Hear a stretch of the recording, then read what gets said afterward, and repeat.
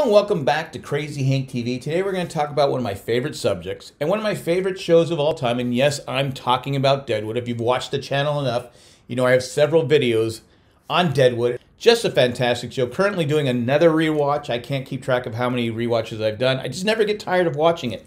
And today we're going to talk about Doc Amos Cochran, one of my favorite characters on the show. Now, if you, again, listen to me, you know I have a lot of favorite characters on the show, Deadwood because they do such a fantastic job of character development.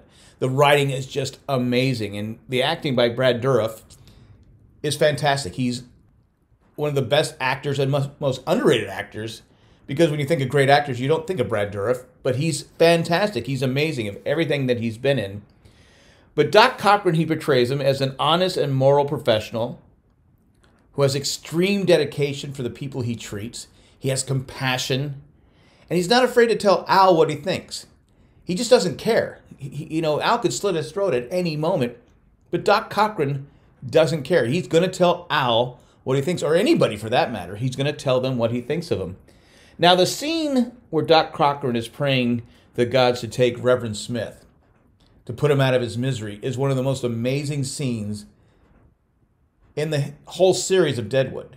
It's just fantastic. You have Al putting Reverend Smith out of his misery, and you have Doc Cochran praying to God, reliving his moments from the Civil War, which is just fantastic. You see the pain that Doc Cochran is feeling because of everything he went through in the Civil War, which got me thinking, and I don't know why I just thought of it now.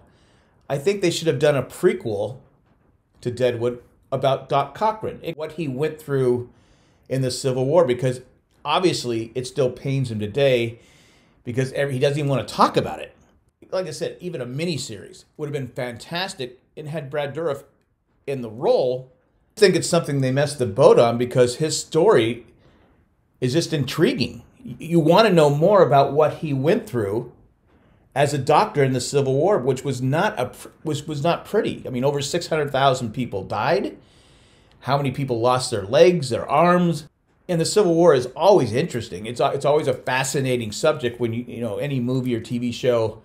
If you can't make an interesting TV show about the Civil War, then you're terrible at your job. So let me know what you think in the comment section. Should they have done a prequel to Doc Cochran? Do you want to know more about his earlier life?